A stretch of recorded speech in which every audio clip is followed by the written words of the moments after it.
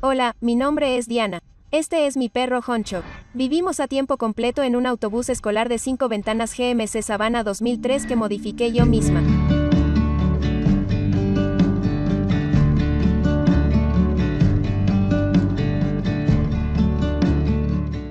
Esta es la parte delantera de mi autobús. Mantuve todo aquí bastante original. No hice demasiadas modificaciones. Agregué un pequeño gabinete aquí porque había mucho espacio de almacenamiento adicional que podía utilizar. Así que guardo muchos de mis zapatos extra y cosas de honcho allí. Mi jacarí también se instala allí. Lo uso para alimentar mi barra de sonido que tengo. Desde que corté todos los altavoces originales. Agregué eso solo para poder escuchar música mientras viajo por la carretera. Y luego también agregué aquí una cortina que puedo correr para tener privacidad en la noche cuando duermo. Y luego pinté el frente aquí arriba del mismo color que el exterior del autobús solo para mantener los tonos neutros aquí. Creo que hizo que esto fuera mucho más hogareño que el metal original que había aquí y eso es todo para la parte delantera de mi autobús. Justo detrás del asiento de mi conductor tengo una ducha. Usé azulejos entrelazados de pared Duma aquí. El plato de ducha mide 61 centímetros cuadrados. Es muy pequeño pero es perfecto para lo que necesito solo para poder enjuagarme todas las noches. En total a bordo tengo 174 litros de agua dulce y eso es para mi fregadero para lavar platos y cocinar, así como para ducharme, tomar duchas rápidas, conservar agua y lavar platos. Probablemente podría pasar unas dos, dos semanas y media antes de tener que llenar. De acuerdo, en este lado de mi autobús tengo la mitad del espacio de mi cocina y mi sala de estar. Así que para el espacio de mi cocina tengo un lugar de 53 centímetros. Arriba tengo tres quemadores y luego abajo tengo un horno. Y luego, debajo de eso, tengo un enorme cajón extraíble donde guardo todas mis ollas y sartenes. Es súper agradable y práctico allí. Y luego, en este gabinete, solo guardo mis paneles solares para mi jacarí. Tengo como bolsas extra reutilizables y cosas así ahí. Yo sala de estar tengo un sofá. Este sofá es en realidad multifuncional y lo usamos como sofá. Tengo una mesa que puedo sacar para poder cenar allí. Hago mi trabajo allí, así como su almacenamiento debajo y se saca al espacio del gabinete para una pequeña cama plegable. Pero es perfecto si tengo un amigo por una o dos noches al lado de mi sofá, solo tengo un poco más de espacio en el mostrador y en ese gabinete. Tengo todas mis cosas de trabajo, mis computadoras portátiles, todos mis materiales de enseñanza. Y luego debajo de eso, aquí abajo, tengo un calentador diésel que es mi principal fuente de calor en el autobús.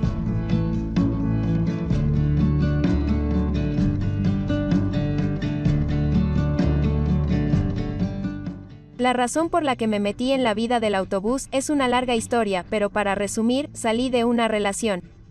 Jeff, yo estaba viviendo en Nueva Jersey. No sabía a dónde quería ir y solo quería explorar.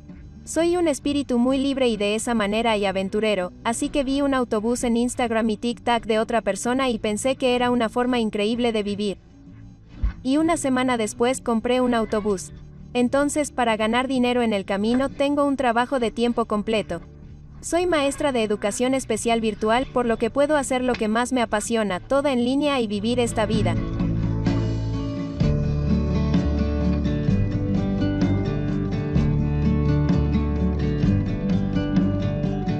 Para el otro lado de mi cocina tengo un fregadero de barra de 23 centímetros de profundidad perfecto para mí. Es pequeño, pero no ocupa demasiado espacio en el mostrador, pero es perfecto para el tamaño que necesito por mi cuenta. Y luego tengo mi fuente principal de encimeras que fue muy importante para mí para poder tener mucho espacio para preparar cosas. Así que es muy bueno tener eso. Tengo una encimera de carnicero aquí y luego abajo aquí solo tengo mucho espacio de almacenamiento. Guardo todas mis tazas, platos, tazones, todo ese tipo de cosas en esos cajones extraíbles, así como algo de comida adicional allí debajo de mi fregadero. También tengo 23 litros que uso para agua potable fresca allí para honcho y artículos de limpieza adicionales para mi protector contra salpicaduras y mis paredes.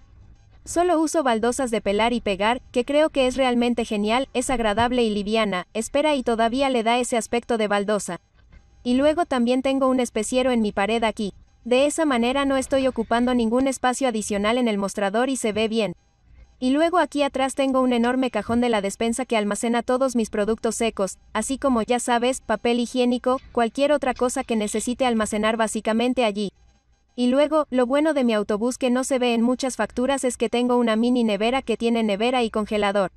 Así que eso es súper agradable y muy importante para mí poder tener un gran espacio en el congelador, poder tener helado, tazones de acai, congelarme todo ese tipo de cosas allí. Entonces, para el área de mi dormitorio, tengo un armario grande que es bastante único. Tiene casi un metro de ancho.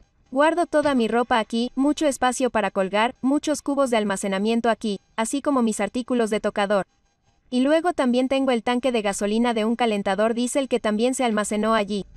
Debajo de mi cama tengo un espacio para el jefe que es una especie de espacio para la cama de mi perro, así como un lugar para todos sus juguetes para que no estorben alrededor del autobús. Y luego también agregué dos tragaluces en mi autobús. Tenía escotillas de emergencia allí y como las iba a sacar y tenía agujeros en el techo, decidí agregar algunos tragaluces. El primero se abre para que pueda acceder a mi cubierta de techo. Este no se abre ni nada por el estilo. Y luego también forré la claraboya, un poco de vegetación solo por estética. Creo que se ve bien y se ve súper genial cuando el sol entra a través de ellos. Entonces, para mi cama, tengo una cama de tamaño completo aquí atrás. También tengo en mi cabecero. Lo hice para que pudiera voltearse para tener espacio de almacenamiento adicional para mis pantalones de chándal y sudaderas, así como para mi ropa sucia. Y luego también agregué un mini split. Esta es mi fuente de enfriamiento. Funciona con un generador que está en mi enganche trasero y también puede calentar el espacio, pero uso mi calentador diésel como mi principal fuente de calor y...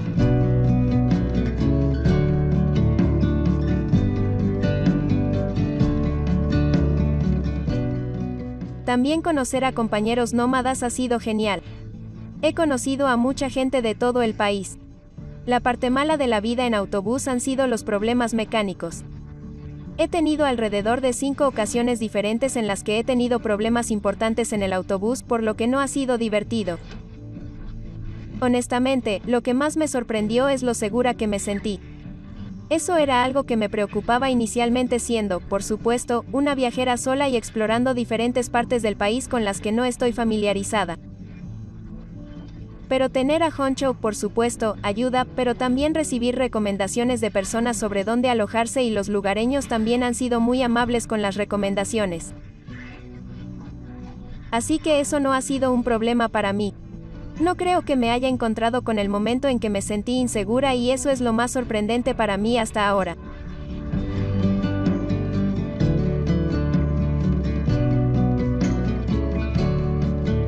haciendo mi construcción. Realmente me encanta el aspecto de la puerta del autobús, pero quería que funcionara como una puerta normal, así que pude atornillar la puerta en una sola pieza para que se abriera como una puerta normal. También agregué un cerrojo de seguridad con teclado, que es genial, principalmente por seguridad, pero también porque puedo ir de excursión y no tener que preocuparme por mis llaves.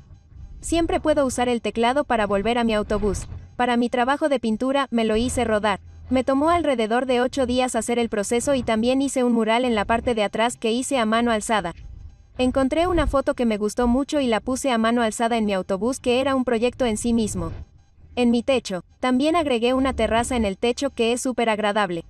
Mide unos 2.5 metros de largo, Ocupa la mitad de mi techo, mucho espacio para subir allí, disfrutar de la puesta de sol, cenar allí, y luego también tengo un ventilador máximo en la parte superior, así como 525 vatios de flexible.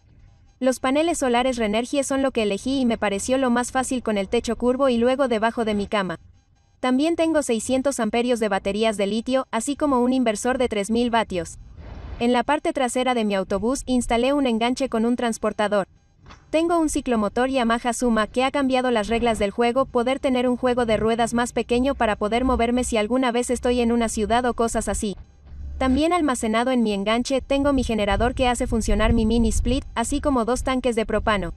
Eso es para mi calentador de agua y mi estufa. Y luego el otro hace funcionar mi generador. También tengo una cámara de respaldo en mi puerta trasera. Es súper agradable poder ver detrás de mí y luego dentro de mi autobús debajo de mi cama, a través de esa puerta trasera, solo tengo mucho espacio de almacenamiento y toda mi electricidad se instalará en mi tanque de agua dulce. Y luego, encima de mi puerta, instalé unos soportes de metal que sujetan la unidad exterior para mis mini splits.